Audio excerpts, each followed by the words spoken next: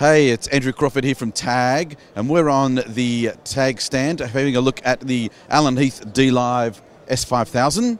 We're going to actually come around and look at a really new feature that's been added. So, Allen Heath have just recently added custom control apps to the dLive architecture. So, whilst we've got a console there, what we've got here is a custom control app that's a radio monitoring, radio mic monitoring station.